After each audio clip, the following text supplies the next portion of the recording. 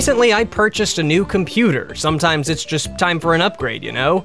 After I got it all set up, the question quickly became, what game do I play first to break this baby in? It's an important decision. You gotta start a new computer off on the right foot after all.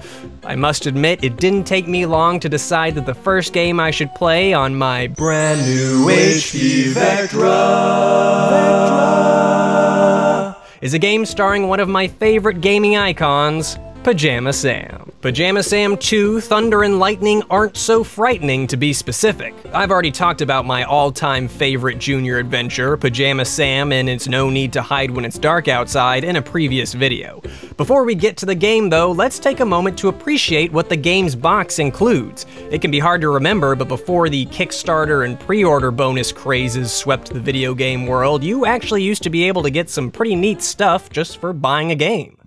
Inside the beautifully designed big box, there's a really cool activity book. And if these activities aren't quite doing it for you, just flip it over and it becomes a Pajama Man comic book. Freaking sweet. There's also a really cool set of stickers and a product catalog that's just too neat to not look through. I used to love looking at game advertisements and product catalogs, and I guess I still do because this is pretty rad. Hold it right there, Earthquaker. Your low-calorie threats mean nothing to me. Not so fast, Dust Devil.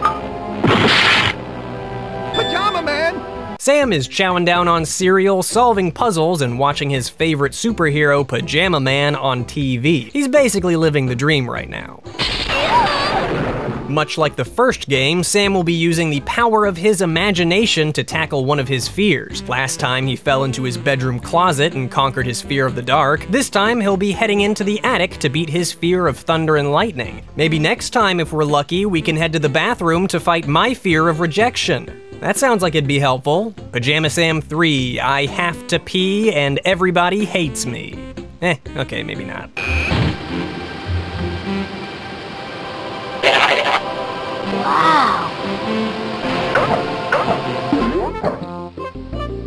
This is where all the weather comes from. Welcome, one and all, to Worldwide Weather, where whether or not you wish to weather the weather, you, uh, they make the weather. Hi.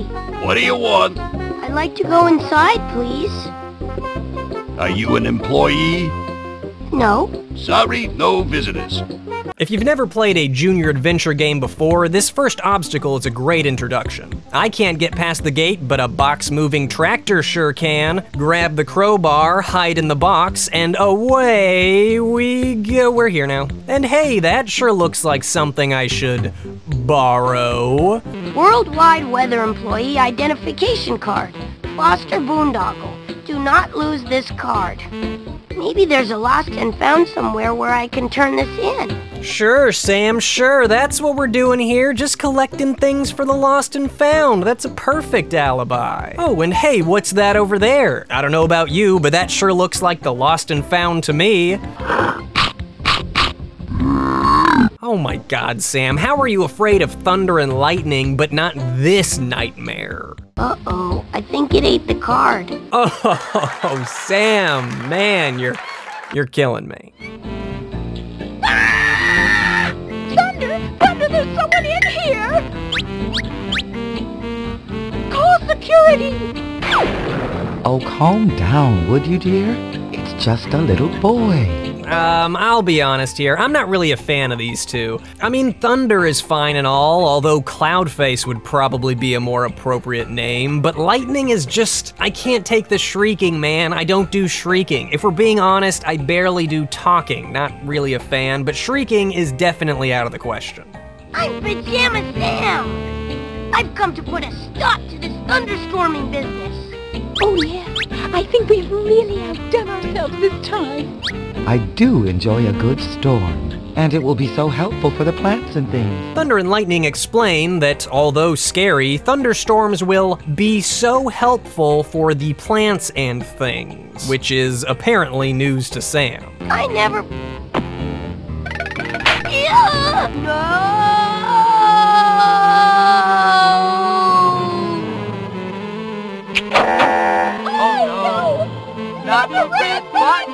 Oh no, the red button that we're facing away from now, right? What are we looking at? Pajama Sam's pajamaed butt has pressed the strangely prominent and unobstructed big red button, which basically means the whole world is toast. Oh my gosh! Look at this weather! Hurricanes in Egypt! Tornadoes in Toledo! This is going to take everything we've got.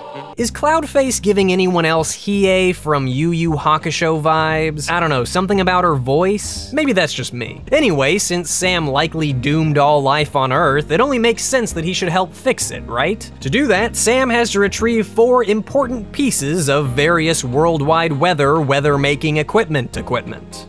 Oh, I mean, just, just one equipment there. There's Wingnut, Mushroom Head, a Weeble maybe, and why? We can also collect these puzzle pieces that are scattered throughout the game, though it's entirely optional. It's just for people who enjoy collecting things.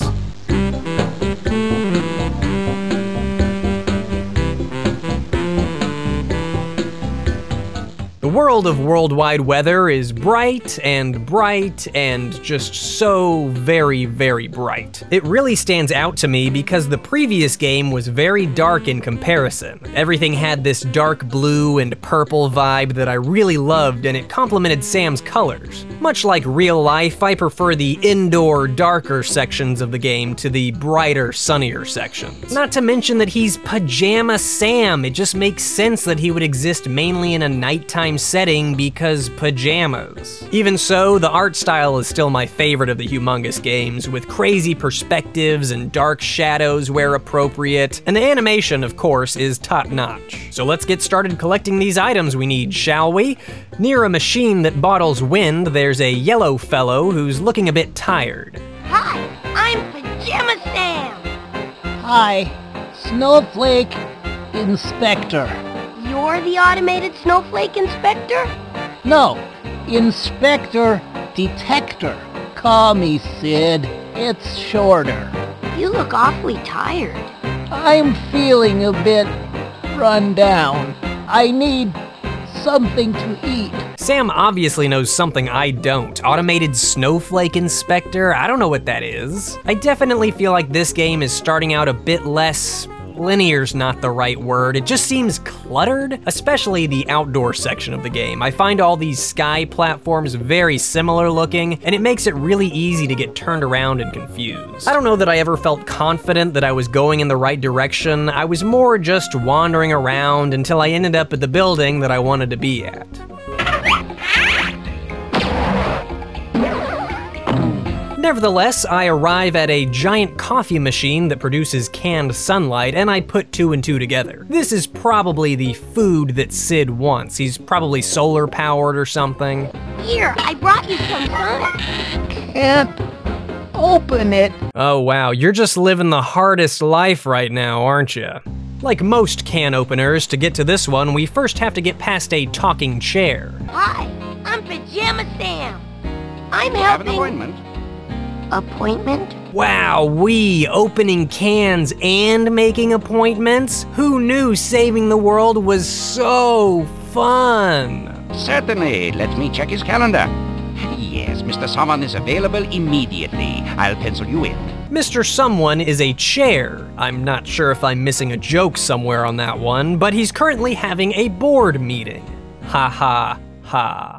I guess you're the boss, right? I'm the chairman of the board. Yes. Oh, I get it, cause he's the chairman of the board. He's also irrelevant in this playthrough as far as I can tell. Like other humongous adventures, Pajama Sam 2 changes slightly on repeat playthroughs. The objects that you need to find and the characters that are important to you change, and in this game it looks like you can even select which configuration of key objects that you'd like to play. I don't think you could do that in the last game, and I'm not sure that I'd ever use this feature. I kinda like the randomness, honestly.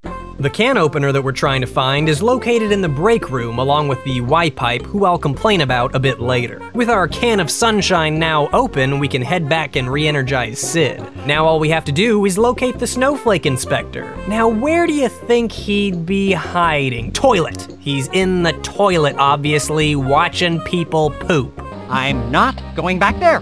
They don't appreciate me. Aw, is my little toilet man feeling underappreciated? Maybe my pitch for Pajama Sam 3 isn't as off base as I thought. Here you go, buddy. Take this ribbon that I found in the garbage. That seems appropriate. You've been named Employee of the Month. They like me. They really like me. Oh, I, I don't, uh, I don't know that I liked that there. And so Sam continues his weather quest, shrinking in size to retrieve a wingnut, rearranging boxes to retrieve a, uh, a thing, and that means all that we have left to retrieve is the Y pipe. Hey, aren't you the Y pipe? Yes, why do you ask? I thought so. I've been looking for you. You have?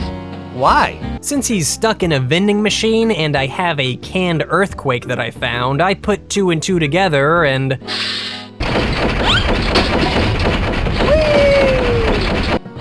Obviously, we need to get some coins to use with the vending machine first, but these stupid coins are nowhere to be found. I spent so much time wandering around, talking to people, trying to figure out if there was some errand I could run to get some spare change, to no avail. And the solution is so stupid, it's so dumb. There's a building outside that houses a weather machine whose main purpose seems to be to grow various fruits and vegetables, though you can also create different weather conditions as well. It hasn't been relevant in my playthrough at all so far, but this is where we get the money, not by selling a fruit or veggie that we grow, but by creating a rainbow.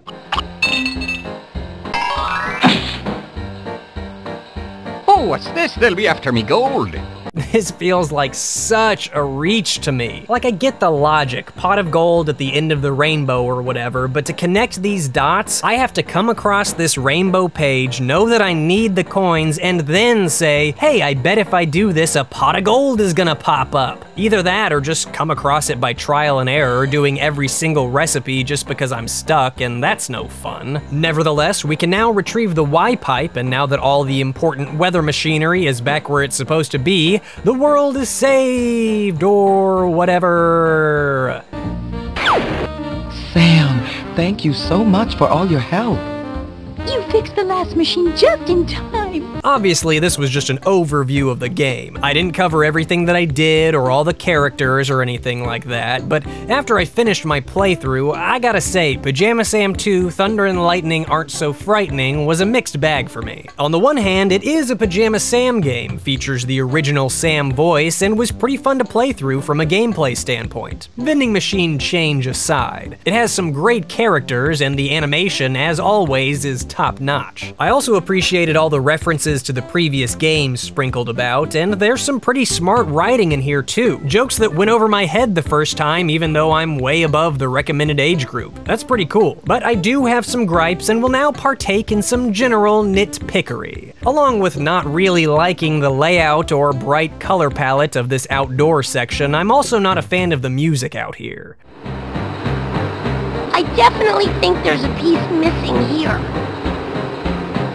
It's not a bad song, but on loop it definitely becomes an annoying one, and when I think Pajama Sam, I don't exactly think aggressive kettle drums. I think jazz or easy listening.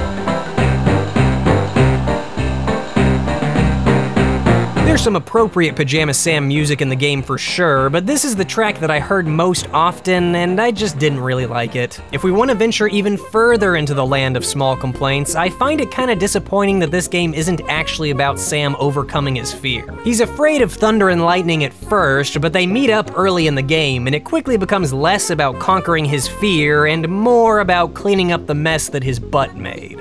Anyway, enough complaining. I don't want you to think that I hate the game, it's just that I love Pajama Sam 1 so much, and I'm so nostalgic for it that it's just a tough act to follow. PJ Sam 2 is still an amazing piece of edutainment, a step or two, or three, or five above most educational games of the time, has aged incredibly well. I definitely recommend it not only to children, but to adventure game fans looking for a casual game, and it leaves me excited to talk about Pajama Sam 3 sometime in the future.